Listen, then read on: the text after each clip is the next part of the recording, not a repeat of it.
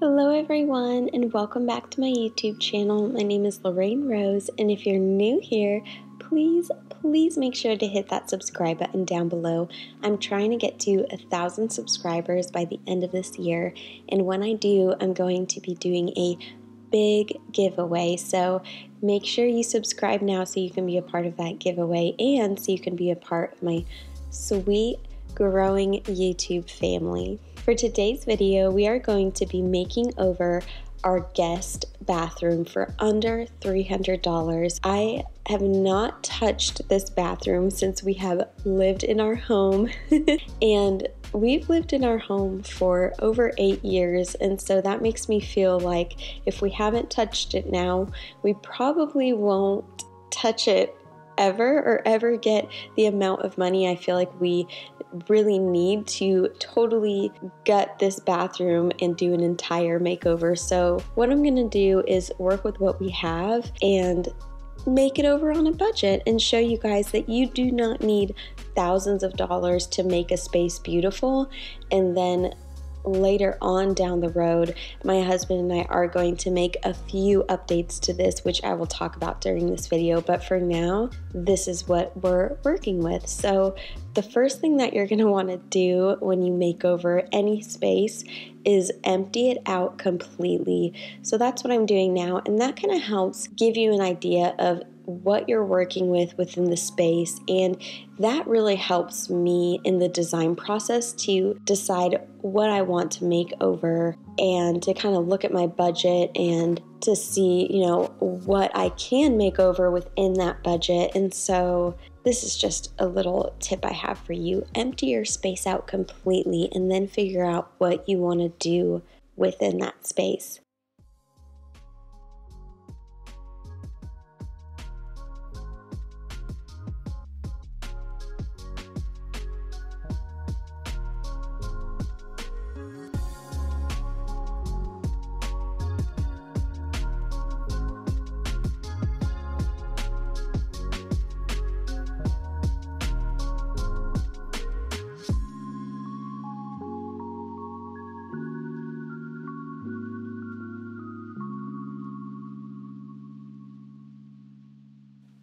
Guys, so I went ahead and I brought my sweet little Bruni baby outside because my husband and I are going to be doing some projects in the garage, but we're gonna have to work outside because dust just gets everywhere if we cut wood inside the garage. And anytime we work on a project, I always like to bring our sweet dog outside with us so he can watch us while we work and also play in the grass.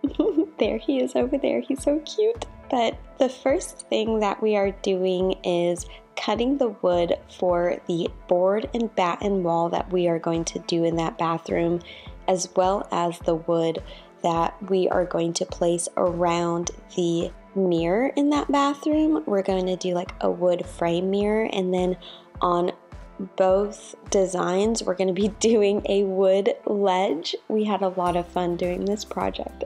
it was such a beautiful day outside. So, anytime I know the weather is going to be beautiful and we have a project where we have to cut wood, I always try to schedule it according to the weather because I feel like it puts me in such a good mood, as well as my husband, when we're working in beautiful weather. but if you don't know what a board and batten wall is, I'm sure that if you just searched it on Google or Pinterest, hundreds of pictures would show up. And I love board and batten walls because they're really simple, easy ways to update your space on a budget and it was really inexpensive to purchase all the wood for this. Now I have a board and batten wall in my kitchen and then we have one in the front entryway and we are going to paint the board and batten wall in the guest bathroom the same color I did on those board and batten walls throughout my house. I am using paint that we already have for this video, so that was a huge savings and that's something I would recommend when you buy a house to use the same color palette throughout your entire home. And that not only makes the home flow really well, but it also saves you in the long run when you want to make over a space.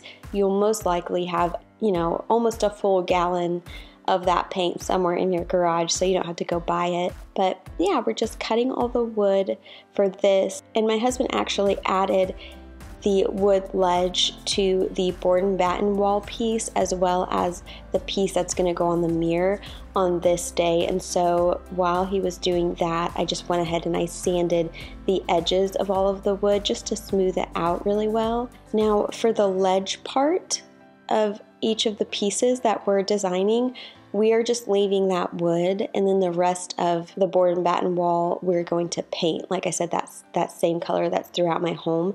But the ledge right here we're going to just leave wood. Now in this video i did not stain the wood around the mirror or on the ledge of the board and batten wall because i was not sure what stain I wanted yet. So I, I think the stain that we have in our home, I just I don't think I want that for this bathroom. I want more of like a honey stain. so I'm gonna go actually purchase that and stain it before the holidays. But yeah, I think that's okay when you're working with wood. If you're unsure about the stain color, just give it a few weeks and just kind of mull it over before you make any. know, like sudden changes because I feel like once you stain wood, that's it. It's kind of permanent.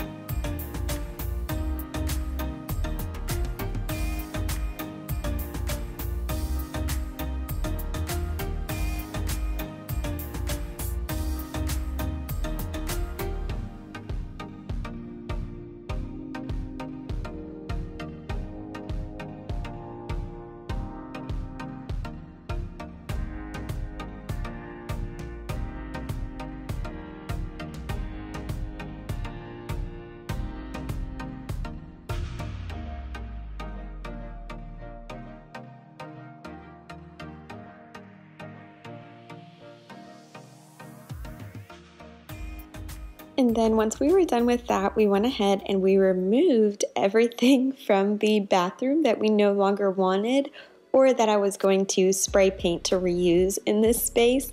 Now, I wasn't sure if I wanted to reuse this towel rack or not, so I went ahead and I spray painted it, but I didn't end up using it.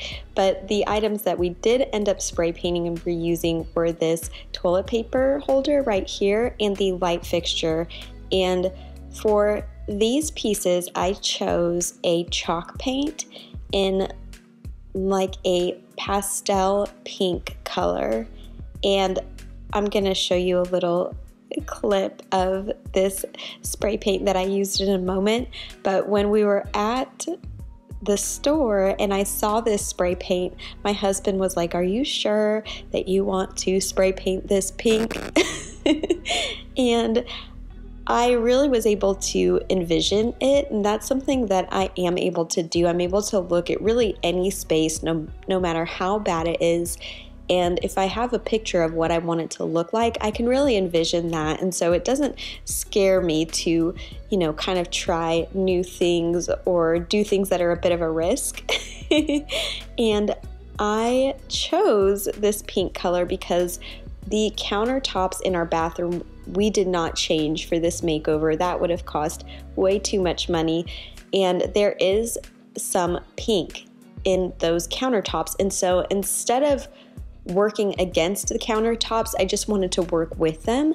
And this pink is like the exact same color as the pink in our countertops, and I am in love with how it turned out.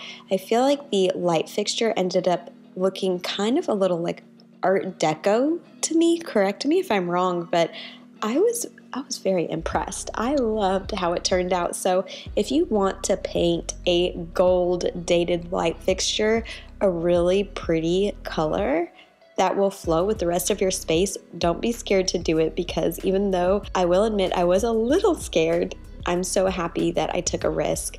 And so, once I was done spray painting, I went ahead and I filled in all the holes in the walls and I removed the knobs from the vanity because that is another thing we could not afford to replace.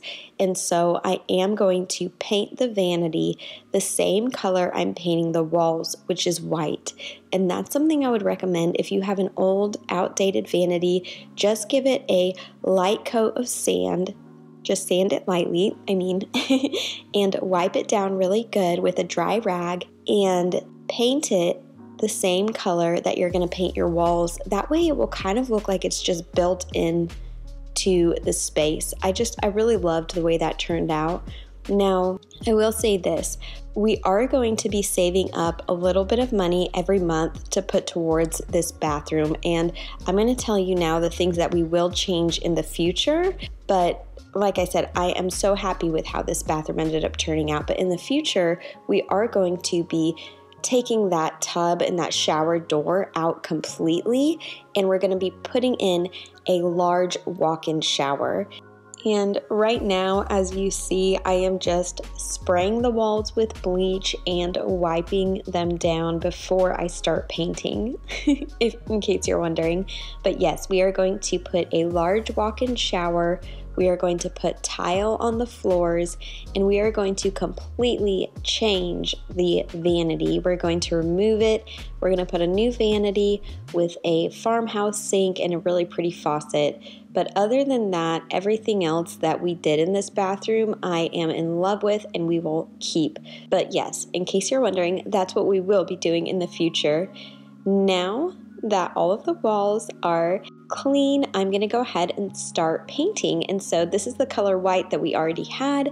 And whenever you paint, I don't know if it's just with white or if it's with all paint colors, but at least for me, before I roll on the paint, I always cut in. So you're going to want to cut in first and then roll. Now, I did get a little bit of paint on the mirror, but I was fine with that because we're going to be covering that up anyways with the wood frame that we're making for the mirror. So, yes, I just started rolling, which was super satisfying and very beautiful. I'm so happy with the paint color and how it turned out.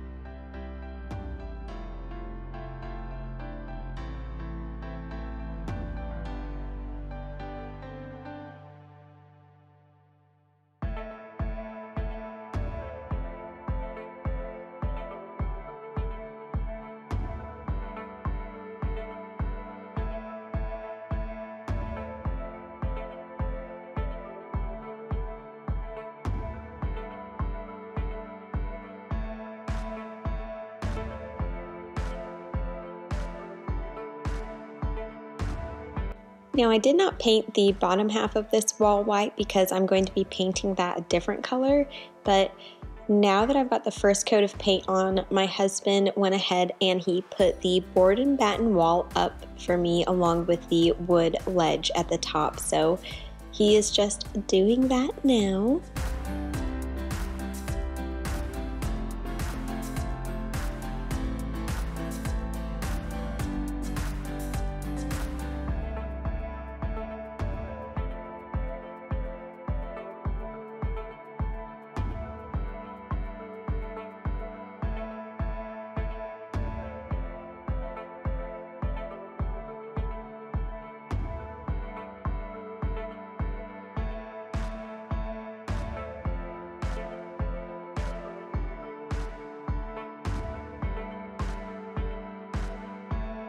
And then once I was done putting the second coat of white paint on the walls, I went ahead and I started putting the first coat of white paint on the vanity here. Now basically what I did was I took a paintbrush first and then I went over it with a roller and that just made everything look really smooth and even and I am in love with how this vanity turned out. I think it's so pretty and something that I will really love for a long time until we are able to replace this vanity. But I personally really like the way it turned out. I was very, very happy with it.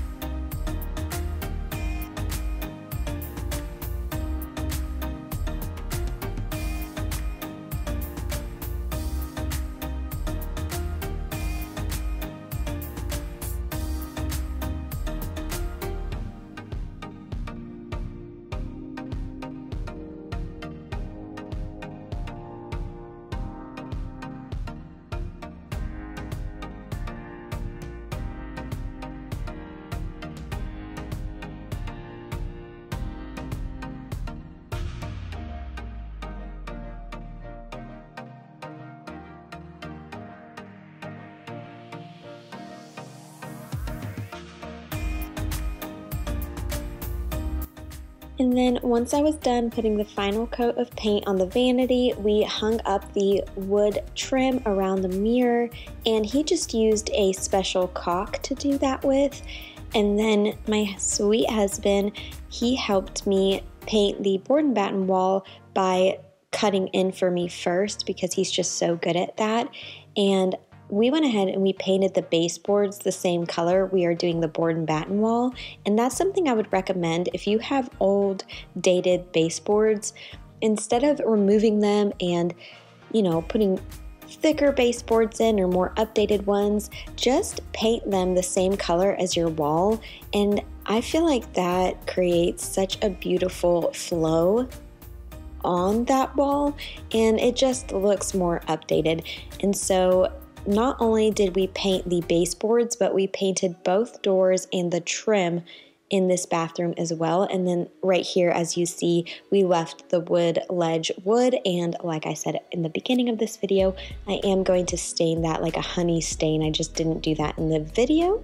and then the next thing that we did was we hung the shower curtain. Now, I not only wanted to show you guys how to do a bathroom on a budget, but I also wanted to show you how to do a bathroom in a few days to where it, it's not this huge project where you're having to like take down walls and remove bathtubs.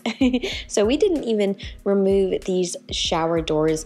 What I did was I purchased a curved shower curtain rod, which I will link down below, and I took the waffle weave white shower curtain from our master bathroom and I put it in this bathroom.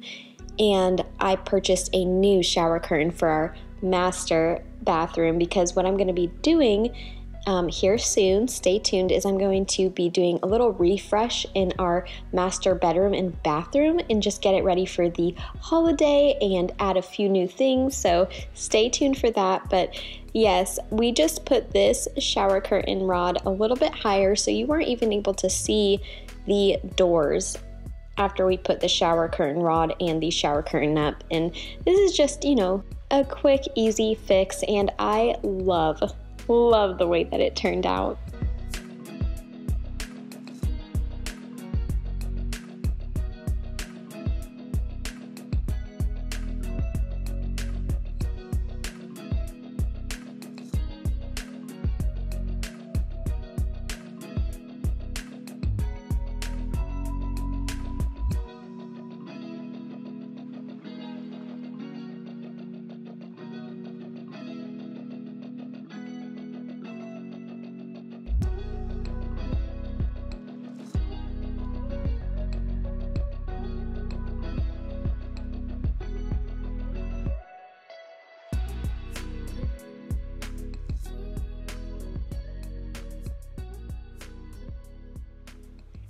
And once we got the shower curtain rod up, we went ahead and we hung these beautiful hearth and hand wall hooks up on the wood ledge of the board and batten wall to hang the new towels up on that I purchased for this bathroom makeover.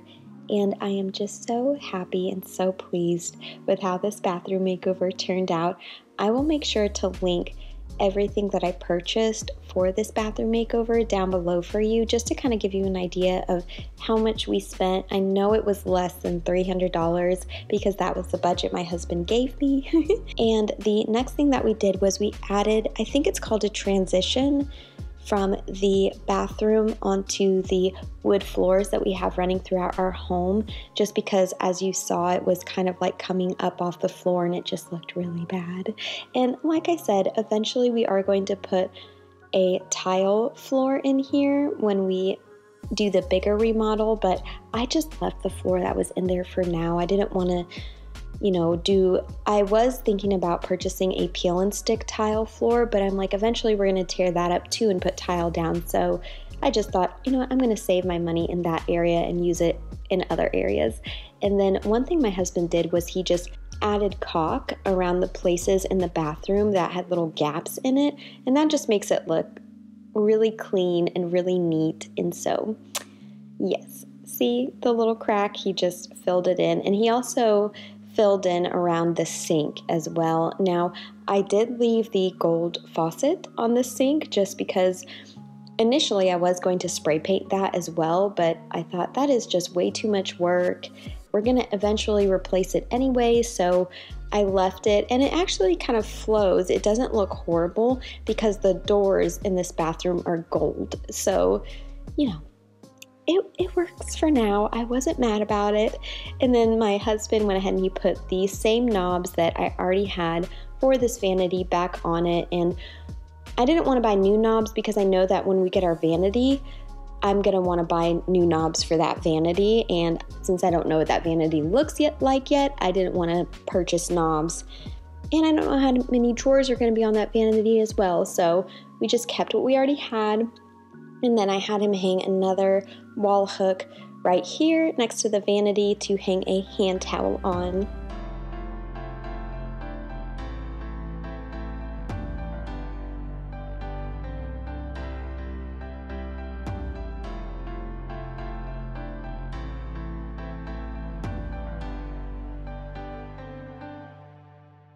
And then I went ahead and I sprayed the countertop with bleach. There were a few paint droppings that got on this countertop, so I wanted to spray it with bleach and then scrub it really good with hot soapy water and wipe it all down. And while the bleach sat on that, I went ahead and I swept this space really well.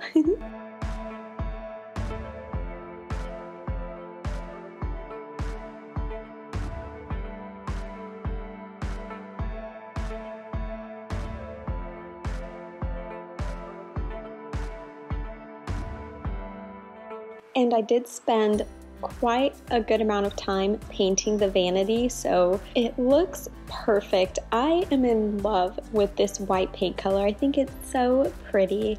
And then once I cleaned off the countertop, I went ahead and I steam mopped the floor.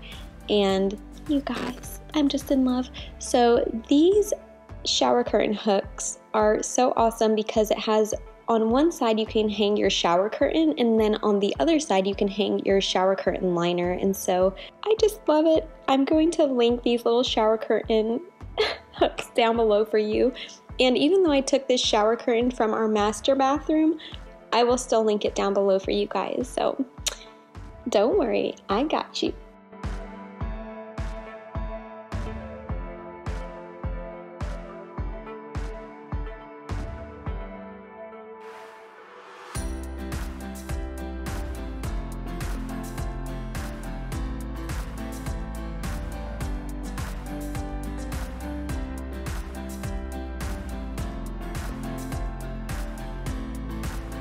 I love the way this looks. I just feel like it's so elegant and so beautiful, and so timeless and pretty. And this color palette really goes well with the color palette throughout my home, so I'm very happy. And this plant, you guys, is fake. This is the most beautiful fake green plant I have ever purchased because I think it looks real. My friend was over the other day and I showed it to her and she said, I thought that was real. So I'm going to link this down below. Please go purchase it for yourself. It is so beautiful. I am so happy with it. I just wanted to add something to this little ledge here, but I didn't want it to be cluttered. I just wanted it to be simple and beautiful. And you guys, I love that plant. And then I purchased these towels from Walmart. They were under $9 a piece, and this same exact pink color matches my light fixture and my countertops to a T. So it just really helped pull from that dated countertop. And I feel like it made the dated countertop look not as bad because it just flowed so well with the towels and with the light fixture. So I'm so happy that I decided to work with the countertop and not against it in this video and I'm just very happy with it. See, it's so it's so pretty now. I'm convinced. now I'm going to just do some last minute styling. But I love you guys so much. I hope this video was motivating and encouraging. Please comment down below if you have any questions or any comments. I would love your feedback.